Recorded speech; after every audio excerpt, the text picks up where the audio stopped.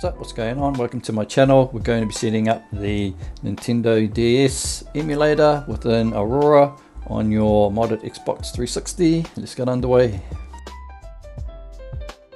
First off, press the back button on your controller. Go to scripts. Go down to Homebrew Store.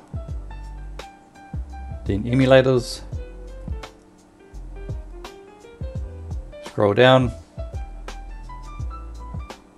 you get to DSUN 360. Press A on it and select yes to download.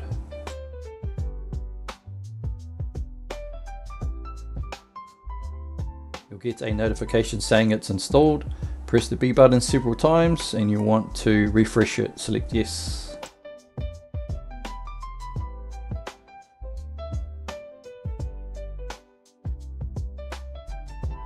Give it a second to compile and find it and obviously it needs to download its box art. Going to need a USB device, insert it into your Xbox 360 and press the guide button. You want to scroll over twice to the right hand side and go down to system settings, select yes. Go to storage, we're going to format it. You want to scroll all the way down to the bottom. USB storage device. If it says unformatted, go through the motions of formatting it.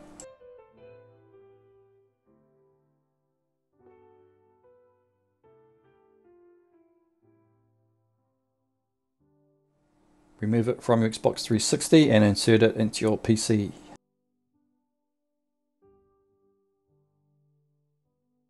Create a new folder and call it ROMs and you need to dump your Nintendo DS ROMs in there. They have to be extracted from zip. They can't be in zip format. They have to be in NDS format or .nds format. Otherwise the emulator will crash.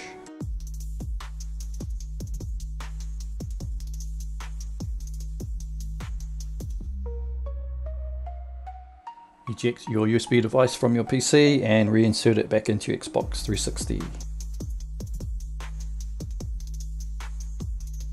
Get a notification saying that it's inserted and press the back button. Go to File Manager, go all the way down to USB 0, select the ROMs folder, press left on the controller, go down to Copy, press A, press uh, B, go down to HDD1 all the way down to Emulators, go into the DSUN folder, and you can see there's a ROMs folder there already, press left on the controller, go to Paste and press A as we're going to overwrite it.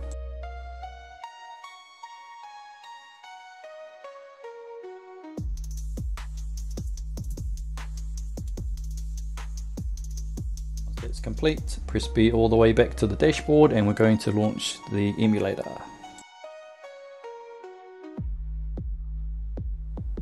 Give it a second to compile and then select your game and press A. If you want to quit out of the game, press in the right analog stick as a button and you'll come up with the menu. Unfortunately this emulator doesn't run too well.